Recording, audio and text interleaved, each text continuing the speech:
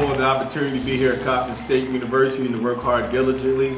And also thankful to have great co-workers who work hard to put forth the effort to make our student athletes to become successful. I'm thankful for my family and everything they do for me. Thankful for the opportunity I had playing D1 volleyball. I'm thankful for my family, for my Coppin family, for Mr. Rob, the best SID ever, and Needy Funchess. For my family and my friends. Thankful to have an impact on the student athletes here at the university. Thankful for all the opportunities I've been granted and to be able to teach and coach the ladies in the sport of bowling. Thankful for my mother and my friends and family. I'm thankful for the opportunity to spend time with my family.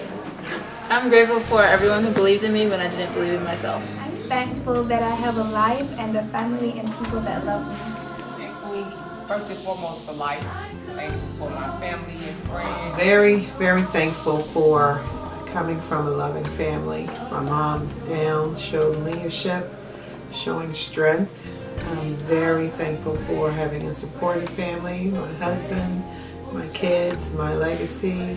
I pray and hope that to keep everyone safe for this holiday and to have a blessed and joyful Thanksgiving.